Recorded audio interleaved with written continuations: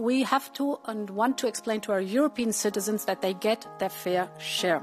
And therefore, the second principle is that companies have to honor their contract to uh, the European Union before they um, export um, to other regions in the world.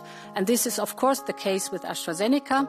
Um, I think it is clear for the company that, first of all, the company has to catch up, has to honor uh, the contract it has with the European member states before it can engage again in exporting, um, in exporting uh, vaccines.